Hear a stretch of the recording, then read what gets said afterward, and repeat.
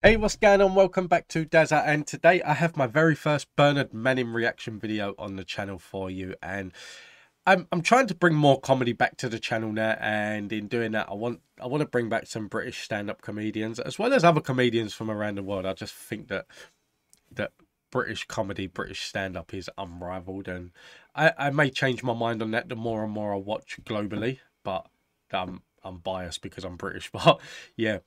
Bernard Manning is not someone that I'm too familiar with. I, I looked at the thumbnail and he doesn't look familiar by face. So yeah, I'm, I'm I'm interested, and obviously the title here is Britain's funniest comedian. So personally, I believe that Lee Evans is Britain's funniest comedian, but I, I I may be swayed with this because I don't know. This is the first time watching this man, so you never know. I'm hoping that I, I am swayed or it's on the fence and I found a comedian that like I want to watch more and more and more of, but we'll, we'll, we'll have to wait and see. I hope you enjoy it. And if you are a fan of Bernard Manning, let me know in the comments down below. Let me know if there's any other videos you want me to react to. And also any other comedians, whether they're British or um, non-British, it doesn't matter. Let me know if there's any other comedians you want me to react to as well. And I will add them to the list. But until then, enjoy. Look at this scruffy cunt on the first row. Have you ever seen that? Oh, he swears? You make a good tramp if you smarten your fucking self up a bit. Where you from, this old fella here? Are you gonna... Uncle fucking Remus here. Uncle Fester. Them see-through wigs are very nice. Are they expensive? Fucking hell. If I had a head like that, I'd be circumcised. What's your job? What do you do? I'm a painter. A painter? What do you paint? Anything. Anything? You want to paint some fucking hairs on your head? want to see Pavarotti last week? What a miserable cunt. He don't like you joining in, does he? Two Jews walking through Glasgow and a big gang of these skinheads come walking towards him. He said, look at these bastards here, Morris, we're going to get mugged here. He said, I think we are. I said, I'm fucking sure we are. Anyway, here's that 600 quid I owe you.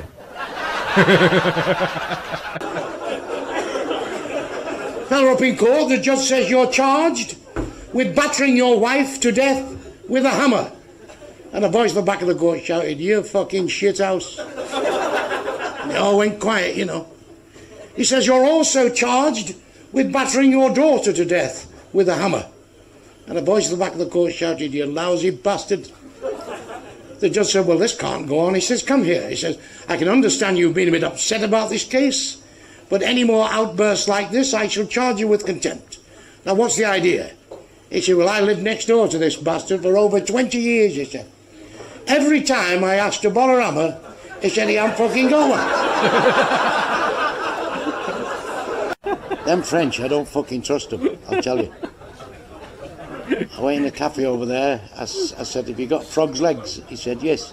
I said, Up in the kitchen and get us a fucking ham sandwich.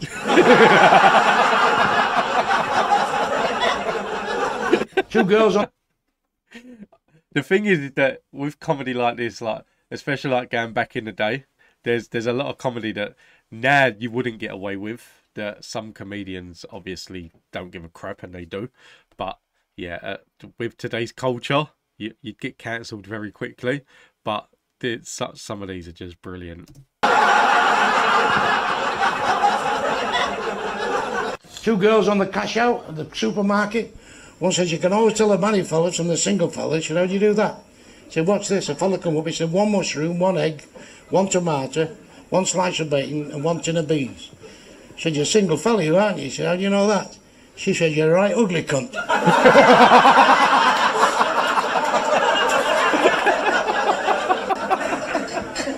Well, I joined the Foreign Legions, you know. How do you get a fuck out here, all this fucking sun like this? He said, the camel, he said, shed number six. I'll boot you for two o'clock tomorrow afternoon. He opened the shed door, this fella got stuck right over his camel, give it a right fucking. The sergeant said, you dirty bastard, why don't you ride into town like the rest of the fucking lads?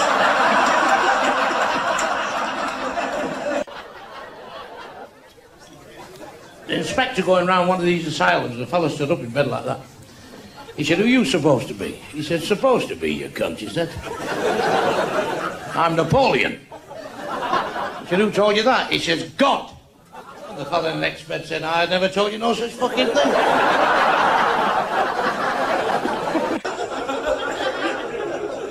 Fellow walked in a pub with a crocodile. The landlord said, Get it out. He said, It does tricks. He says, Tricks, you balmy bastard. Get that crocodile out of here. And now, move with the crocodile. He says, You're going to have a thrombosis, you, the way you're going on. He said, Fucking hell, calm down. Not seen the trick yet, have you? Watch this. Opens the crocodile's mouth like that. Put his prick in its mouth like that. Got a bit of wood out of his back pocket and bang right across the head. The crocodile went. Fucking hell, he said. You've got some bottles to drop like that. He said, I told you it was good, he said. All that fucking screaming and shouting. Anybody in this pub like to try it for 50 quid? This little old woman says, I'll try she said, but don't hit me on the fucking head as I said that. Two Irish brothers went down for disability pension, cracking on they was deaf.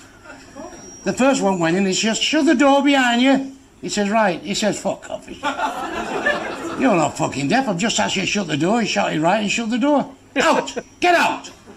On his way out, he said to his mate, don't shut that fucking door. He's trying to trick you. His mate went in, he said, shut the door behind you. He says, shut it you fucking self. English fella lived next door. This packy had a goose. He laid egg in his garden. He went round. He said, I've come for me goose egg. He said, me goose is laid egg. He said, oh, no, no, no, no, no. No, the egg belongs to me, he said. The egg is on my land. The egg belongs to me. That is Indian law. He says, give us that fucking egg. You know what? Honestly, it is the I love accents. I love it when comedians do accents. That pe- people are on the fence with it, whether it's like it's racist or it's not racist and things like that. I think it depends on the context of the the accent. But yeah, I mean, for me, like over the years, I'm not gonna sit here and lie and say I've never done an accent because I have, and I love doing them. Never done in a way to like offend anyone or anything, but just like in general and just in jest, I love doing different accents. He said, I'm telling you, the egg is on my land, the egg belongs to me. That is Indian law. You will never mind Indian law. We'll have English law just for a fucking change. I kick you in the bollocks, you kick me in the bollocks. The one that gives up first owns the egg.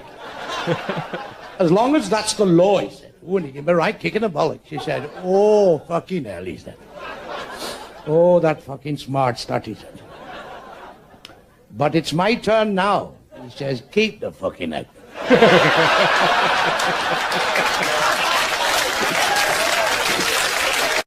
Fella going, going back to Ireland, an Irishman going back to Ireland. That's a fucking change, isn't it? Got in this taxi at Liverpool. The taxi driver says, it's a long journey to the airport. He said, we'll have a few riddles. He looked in the mirror, in the mirror he said, uh, brothers and sisters, have I none, but that man's father is my father's son. Who is it? Yeah, this fella said, uh, I don't know. He said, it's me, innit? Fuck me, he said, you're right. He got off to Ireland, he says to his father, uh, I'll give you a bit of a riddle, he said. Looked in the mirror, he said, uh, brothers and sisters, have I known, but that man's father is my father's son. Who is it? His father said, how the fuck do I know? He said, you ignorant cunt. He's a taxi driver in Liverpool. Two Irish fellas used to knock about with his Paddy, and the Paddy got knocked down, killed stone dead. The copper said, what was his name? He said, we never knew his name, sir. Just used to move them, you know. He said, where did he live? He said, no, we knew fuck all about the man, he said. The only thing we knew about him, he had two arseholes. He said, how do you mean? He said, every pub we went in, they used to say, here's that Paddy with them two arseholes.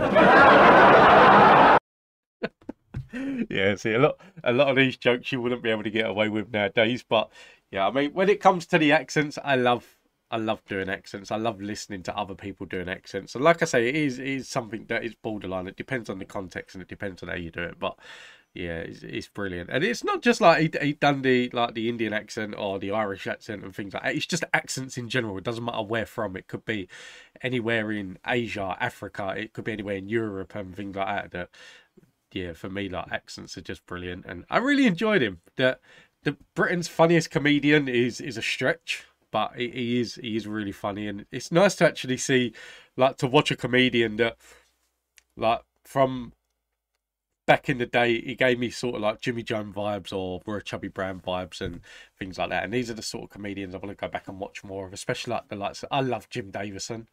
That like some of his com- comedy that he does. I went to see him live in Southend like many moons ago, and he was just absolutely brilliant. And then I love things like Sinderella. That Jimmy Jones and Chubby Brown, these are comedians that I really, really do enjoy listening to as well. So yeah, so I, I want to bring more of them to the channel, and that's where you guys come in. If there's any other comedians that you want me to react to, please do let me know in the comments down below. But until then, thank you for watching. Take it easy. Have a nice day. Stay safe. Be kind, and I will see you in the next one.